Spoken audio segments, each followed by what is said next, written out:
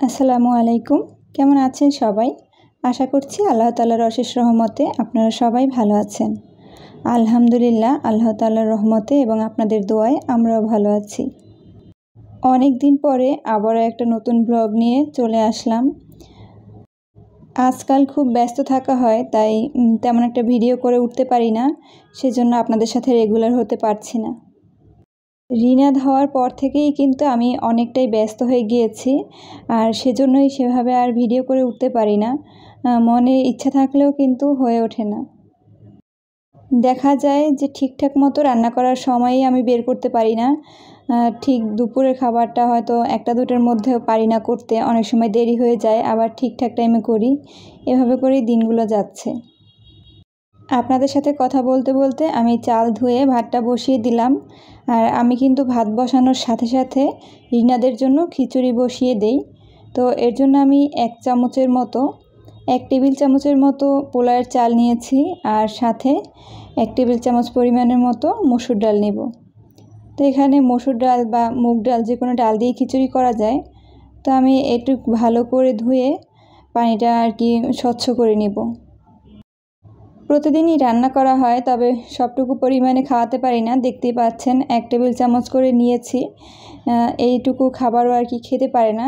যেহেতু ছোট, আমিও ওইভাবে প্রেশার করি না, যতটুকু নিজে থেকে খায় তো ততটুকুই আমি খাই।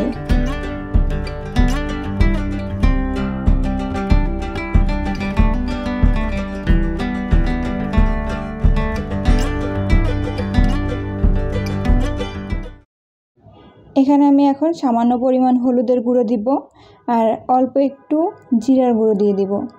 এখানে আমি কোনো লবণ ইউজ করব না, কারণ আমি চাই না ওর এক বছর হওয়ার আগে আমি কোনো প্রকারের লবণ ওকে খাওয়াই।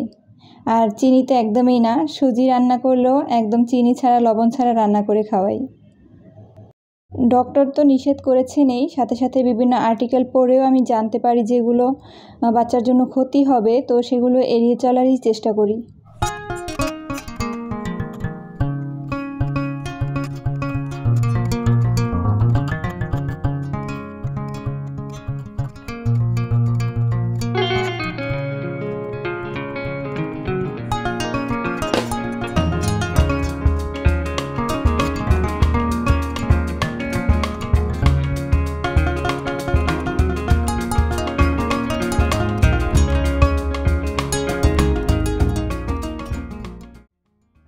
আমি কিন্তু ভাত রান্না করার মধ্যে ওকে আমি খিচুড়িটা খাইয়ে দিব। আর খিচুড়িটা খাইয়ে দাইয়ে এসেছি, কোনো রকমের সবটুকু খাইনি, অল্প একটু খেয়েছে। এখন আমি ভালো করে ধুয়ে বাকি রান্না করতে বসবো। আমি কিন্তু রিনাতকে ঘুমের ফাঁকে ফাঁকে রান্না করতে আসি বা একটু চেয়ারে বসিয়ে, পাশে বসিয়ে নিই, তারপরে রান্না করি। যতটুকু সময় থাকতে চাই চেয়ারে, তো ততটুকুতে যতটুকু কাজ করা যায়, আমি সেভাবেই কাজ করি। তো অলরেডি কিন্তু খাওয়ার পরে আমি আমার পিছনেই কিন্তু একটা চেয়ারে বসিয়ে আর কি নিয়ে নিলাম।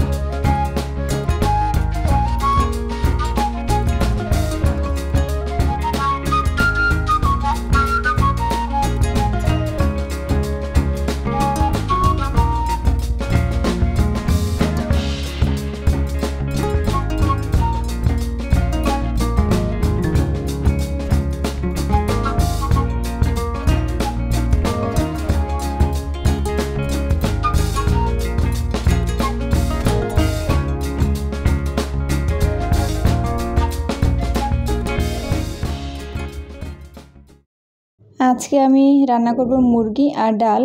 তো এখানে আমি মুরগির জন্য মশলা কষিয়ে নিচ্ছি। এখানে আমি দারচিনি, এলাচ, তেজপাতা আর পেঁয়াজ রসুন দিয়ে একটু ভালো করে ভেজে নিচ্ছি। সামান্য আর কি লালচে বর্ণ যখন আসবে, ঠিক তখন আমি সামান্য পানি দিয়ে গুঁড়ো মশলাগুলো দিব। আর এই যে এই পর্যায়ে আমি একটু সামান্য পানি দিয়ে নিলাম। আর আদা বাটাটা দেখাতে মনে নেই, তো এখানে আমি আদা বাটাও দিয়ে দিব।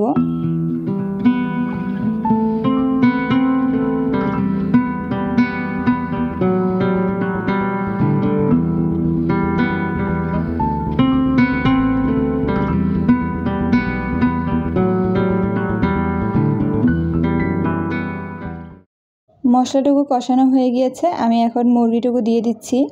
আর পাশে কিন্তু ডাল প্রায় হয়ে এসেছে।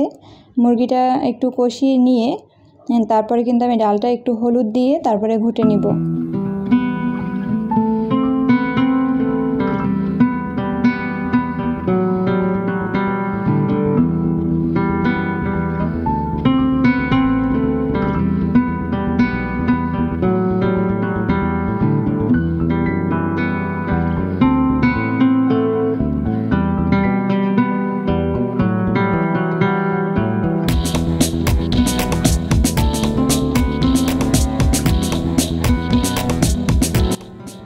এখন যে দেখতে পাচ্ছেন, আমি কিন্তু এক হাত দিয়ে কাজ করছি আর এক হাত দিয়ে রিনাতকে কোলে নিয়ে রেখেছি।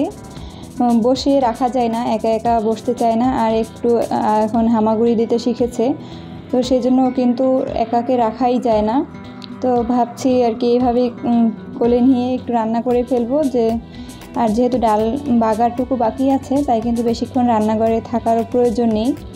এইটুকু দিয়ে আমি চলে যাব। কোলে নিয়ে এক হাত দিয়ে কাজ করছি বিধায় একটু অসুবিধা হচ্ছে। তবু ব্যাপার না, যেহেতু অল্প রান্না, তাই ঝামেলা হবে না।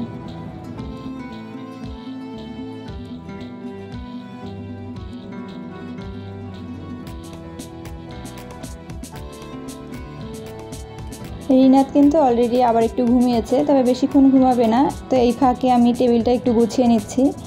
সেভাবে গুছানো থাকে না, একটু এরকম এলোমেলো থাকে, যখন সময় পাই তখনই গুছিয়ে নেই। তো এখন একটু সব কিছু ঠিকঠাক করে নিচ্ছি।